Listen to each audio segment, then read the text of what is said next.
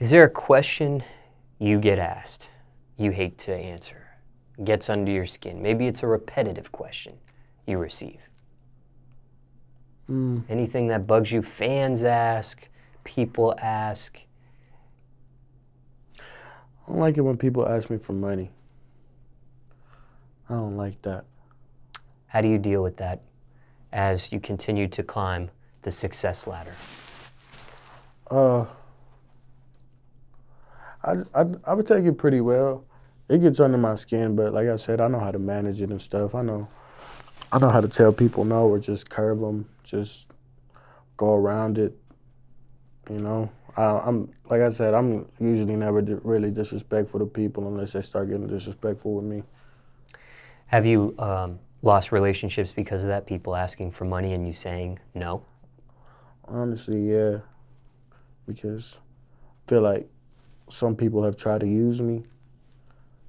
Some people that were never around whenever I was broke, whenever I was hungry, anything, just want to come around now because they see success. I have artists that are my friends. I have, I never post money.